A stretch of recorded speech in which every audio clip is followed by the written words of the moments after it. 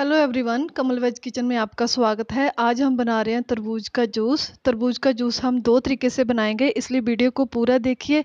अगर वीडियो पसंद आई तो वीडियो को लाइक करें, शेयर करें, चैनल को सब्सक्राइब नहीं किया है तो चैनल को सब्सक्राइब करके बेल आइकन को ज़रूर प्रेस करें, ताकि मेरी हर नई वीडियो की नोटिफिकेशन आपको मिल पाए। तो चलिए जल्दी से बनाना शुरू करते हैं।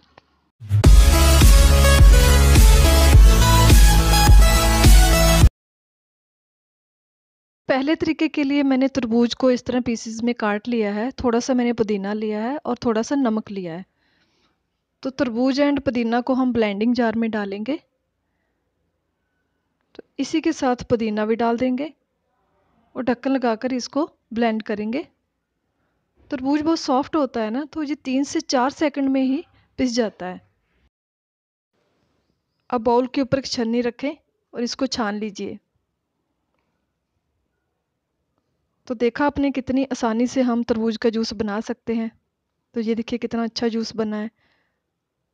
अब हम इसमें डालेंगे आधा छोटी चम्मच काला नमक, जहाँ अपने टेस्ट के अकॉर्डिंगली भी डाल सकते हैं। दूसरे तरीके के लिए मैंने तरबूज के छिलके के साथ इस तरह से पीसेस कर लिए। अब हम बाउल के ऊपर एक छन्नी रखेंगे और कद्दूकस से हम इसको ग्रेट करेंगे। अब एक एक पीस को लेकर इस तरह से ग्रेट कर लीजिए।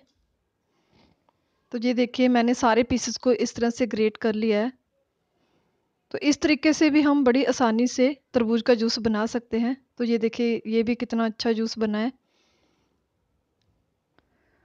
तो इससे आप कुल्फ़ी भी बना सकते हैं। अगर आपके पास कुल्फ़ी बनाने वाला सांचा है तो आप जूस को उसमें डालिए। इसको छः से सात घंटे के लिए फ्रीज़र में रखें। सात से आठ घंटे के बाद फ्रीजर में से निकालें। किसी भी बाउल में पानी डालकर उसमें एक मिनट के लिए रखें तो कुल्फ़ी बड़ी आसानी से निकल जाती है। तो ये देखिए कितनी अच्छी कुल्फ़ी बनी है। और बाकी के जूस को हम ग्लास में डालेंगे। ऊपर से आइस क्यूब डालें, पुदीने की पत्ती डालें और ठंडे ठंडे तरबूज के जूस को इंजॉय कीजिए। समर के सीज़न में आपके शरीर को बिल्कुल रिफ़्रेश कर देता है ये जूस तो आप इस जूस को ज़रूर बनाइएगा। Thanks for watching